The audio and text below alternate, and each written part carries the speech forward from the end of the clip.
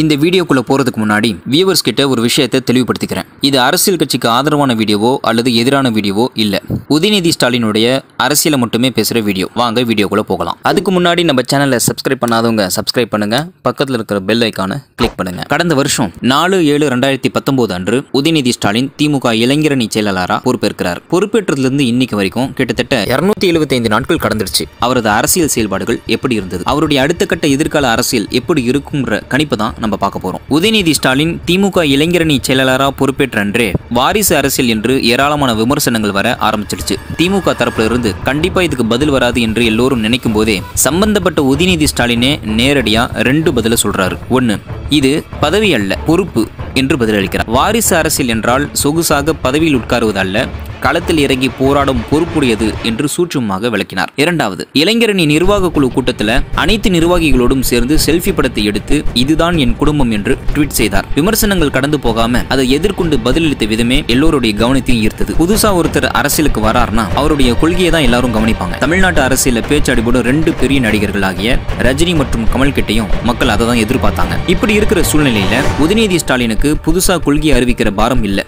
ஏற்கனவே எழுபது ஆண்டு காலமாக திமுக கொண்டு வந்த கொள்கையில உறுதியா நிக்கிறாரா என்பதுதான் மக்கள் கவனிப்பாங்க. அதையும் கணக்கச்சிதமா உதயநிதி ஸ்டாலின் வெளிப்படுத்தினார். தன்னுடைய இளைஞர் அணியில வந்து சேரும்படி தமிழக இளைஞர்களை அழைப்பதற்கு அவர் ஒரு வீடியோ வெளியிட்டார். அதுல நீங்க ஏன் திமுக சேரணுங்கிற காரணத்தை கிறிஸ்டல் கிளியரா சொன்னார். அதுவே அவர் திராவிட கொள்கை எந்த அளவிற்கு உள்வாங்கியிருக்கிறான்றத வெளிப்படுத்துச்சு. அந்த வீடியோவை பாருங்க. அதுல அவர் பயன்படுத்துற வார்த்தைகளை உன்னிப்பா கவனிங்க. அனைவருக்கும் வணக்கம். நாட்டில் இப்போ என்ன நடந்துகிட்டு இருக்குன்னு எங்கள் எல்லாருக்குமே நல்லா தெரியும். தமிழ்நாட்டை பொறுத்த வரைக்கும் இது வரைக்கும் இல்லாத அளவுக்கு ரொம்ப மோசமான ஒரு காலம்.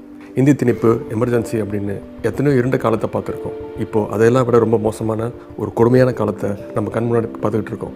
தமிழ்நாட்டை காவிமயமாக மாற்றுறதுக்கு ஒரு கூட்டம் துடிச்சிக்கிட்டு இருக்குது இன்னொரு பக்கம் தமிழ்நாட்டுக்குள்ளே எப்படியாவது இந்தியை திணிக்கணும்னு மல்லுக்கு நிற்கிறாங்க பல்வேறு கலாச்சாரத்தை கொண்ட மக்கள் வாழ்கிற இந்த நாட்டை ஒற்றை கலாச்சாரமாக மாற்ற என்னென்னவோ பண்ணி பார்க்குறாங்க. ஜனநாயகத்தோட குரல் விலையை சுத்தமாக நெரிச்சிட்டாங்க. நாடு முழுக்க மயான அமைதின்னு சொல்லுவாங்கல்ல அப்படி ஒரு அமைதி. பயமுத்துற இந்த மயான அமைதிக்கு இடையிலையும் கொடுமைகளுக்கு எதிராக ஓங்கி உடைக்கிற ஒரே குரல் திமுக தான்னு நீங்கள் உணர்ந்திருப்பீங்க. தொடர்ந்து நடக்கிற இந்த இந்தி மொழி திணிப்பு மக்களிடையே நிலவும் சகோதரத்துவத்தையும் சமத்துவத்தையும் குலைக்கிறது. மதத்தின் பெயரால் வெறுப்புணர்ச்சியை வளர்க்கிறது. தமிழகத்தில் நம்ம பாடுபட்டு வளர்த்தெடுத்த சமூக நீதியை குலைக்கிறது. தமிழக மக்கள் விரும்பாத திட்டங்களை நம்ம மேலே திணிக்கிறதுன்னு இந்த காவி கும்பல் முயற்சி செய்யும் போதெல்லாம் திமுக தான் தொடர்ந்து கடுமையாக எதிர்க்குது. ஏன் தெரியுமா? திமுக இளைஞர்களால் தொடங்கப்பட்ட கட்சிங்க. இதை தொடங்கும் போது பேரர் அண்ணாவுக்கு வயசு நாற்பது முத்தமிழ் கலைஞருக்கு வயசு இருபத்தஞ்சு நம்முடைய இனமான பேராசிரியருக்கு வயசு இருபத்தாறு. அதனால தான் திமுக எப்பவுமே இளமை வேகம் குறையாமல் துடிப்போட இயங்கிக்கிட்டு இருக்கு. ஒடுக்குமுறைக்கு எதிராக உரத்த குரல் கொடுப்பதும் திமுகவின் ரத்தத்திலேயே கலந்த ஒன்று சுயமரியாதை சமூக நீதி சமத்துவம் சகோதரத்துவம் அப்படிங்கிற கொள்கைகள் தான் திமுகவுடைய அடி இந்த வீடியோல அவர் ரெண்டு விஷயத்தை வெளிப்படுத்துறாரு. ஒன்று தான் திமுக கொள்கையை எந்த அளவுக்கு உள்வாங்கி இருக்கிறன்றத சமூக நீதி சுயமரியாதை சமத்துவம் சகோதரத்துவம் போன்ற வார்த்தைகளை வெளிப்படுத்தி காண்பிக்கிறார். ரெண்டாவது தான் யாரை எதிர்க்கிறார் என்பதை மிக தெளிவா வெளிப்படுத்துறார். இந்த ரெண்டு விஷயத்தையும் வெளிப்படுத்துவதன் மூலமா அவர் தன்னுடைய கொள்கையில எந்த அளவுக்கு உறுதியா இருக்கிறார் என்பதை கணக்கச்சிதமா வெளிப்படுத்திட்டார். உதயநிதி ஸ்டாலின் தன்னுடைய திராவிட கொள்கை உறுதியை தொடர்ந்து மக்கள் கிட்ட பின்வரக்கூடிய மூன்று விஷயங்கள் மூலமா வெளிப்படுத்திக்கிட்டே இருக்காரு. ஒன்று போராட்டங்கள் மற்றும் கைதுகள். இரண்டு அறிக்கைகள். மூன்று விமர்சனங்களுக்கு பதிலளித்தல். இந்த மூன்று விஷயங்கள் மூலமா தொடர்ந்து தன்னுடைய கொள்கை உறுதியை மக்கள் கிட்ட வெளிப்படுத்திக்கிட்டே இருக்கார். காவேரி மேலாண்மை வாரியம் அமைக்கும் போராட்டம் முதல் என்ஆர்சி என்பிஆர் சிஏஏ எதிர்ப்பு வரை பல போராட்டங்களில் கலந்து கொண்டு அவர் கைதானார். முக்கியமாக நம்ம கவனிக்கக்கூடிய விஷயம் அவர் விடும் அறிக்கைகள். அந்த அறிக்கையில் அவர் பயன்படுத்தும் வார்த்தைகள். நாட்டு நடப்புகளில் எந்த சம்பவங்கள் அசம்பாவிதங்கள் நடந்தாலும் சரி அல்லது அவருடைய கருத்தை சொல்வதாக இருந்தாலும் சரி அவர் தொடர்ந்து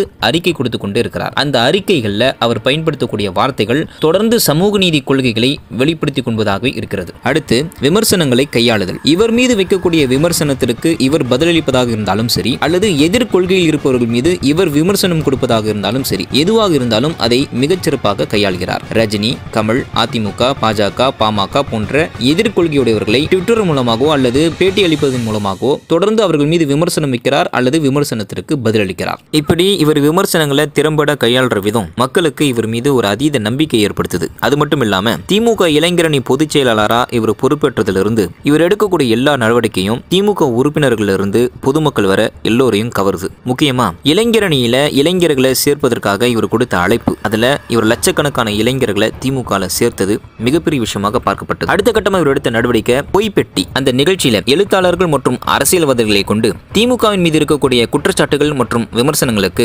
சரியான பதிலடியை கொடுத்தாரு. அந்த பதில்களை வீடியோ ரெக்கார்ட் செய்து சமூக வலைதளங்களில் பரப்பினார். இதன் மூலம் திமுகவில் இளைஞர்களை கொண்டு வந்து சேர்க்கறதுக்கு பயன்படுத்திக்கிட்டாரு. அது மட்டும் இல்லாம தமிழகம் முழுக்க இருக்கக்கூடிய திமுக தொண்டர்கள் கிட்ட தன்னை அறிமுகப்படுத்தி கொண்டே இருந்தார். இளைஞர்கள் இருந்து வயதானவர்கள் வரைக்கும் எல்லா தொண்டர்களுக்கும் மதிப்பு கொடுத்தாரு. அவர்களிடம் இறங்கி பழகினார். கடந்த காலங்களில் விக்கிரவாண்டி நாங்குநேரி வேலூர் போன்ற தொகுதிகளில் நடந்த எல்லா தேர்தலையும் பிரச்சாரம் மேற்கொண்டாரு. இளைஞரணி சார்பாக இவர் செய்த பிரச்சாரங்கள் எல்லாமே மக்களிடம் ரொம்ப கவனிக்கத்தக்கதாக இருந்துச்சு.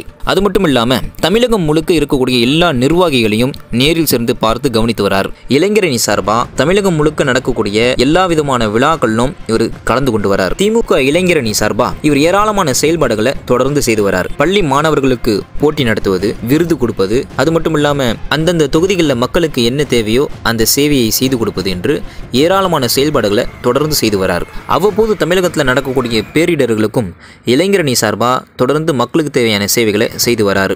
அது மட்டும் இல்லாமல் அந்தந்த தொகுதிகளில் யார் சேவை செய்கிறார்களோ அவர்களுடைய பெயரோடு ட்விட்டரில் பதிவிட்டு வராரு. இதன் மூலமாக தான் இளைஞரணி சார்பாக எந்த அளவிற்கு மக்களையும் தொண்டர்களையும் நிர்வாகிகளையும் கவனித்து வருகிறேன் என்கிற தன்னுடைய நிர்வாக திறனையும் வெளிப்படுத்துறாரு. ஒட்டுமொத்தமாக பார்த்தா உதயநிதி ஸ்டாலின் கடந்த இரநூத்தி எழுபத்தைந்து நாட்களில் ஒரு அரசியல்வாதியாக ரொம்ப சிறப்பாகவே செயல்பட்டிருக்கிறார் போராட்டங்கள் மற்றும் கைதுகள் அறிக்கைகள் விமர்சனங்களுக்கு பதிலளித்தல் தொண்டர்களை சந்தித்தல் செயல்பாடுகள் மற்றும் சேவைகள் பிரச்சாரங்கள் மற்றும் பயணங்கள்னு இவர் செய்த பணிகள் பட்டியலிட்டே போகலாம் ஒரு அரசியல்வாதியா அவருடைய செயல்பாடுகள் எல்லாமே மக்களுக்கு ரொம்ப அதீத நம்பிக்கை ஏற்படுத்துது. ஒட்டு மொத்தத்தில் உதயநிதி ஸ்டாலின் அங் கலைஞருடைய பேரர் என்று ஒரு அரசியல்வாதியா மக்கள் கிட்ட நிரூபிச்சிட்டார். இவருடைய வருங்கால அரசியலுக்கும் மக்கள் கிட்ட மிகப்பெரிய ஆதரவு இருக்கின்றது வெளிப்படையாவே தெரியுது. மேலும் இது போன்ற தகவல்களுக்கு நம்ம சேனலை சப்ஸ்கிரைப் பண்ணுங்கள் பக்கத்தில் இருக்கிற பெல் ஐக்கானை கிளிக் பண்ணுங்கள் நன்றி.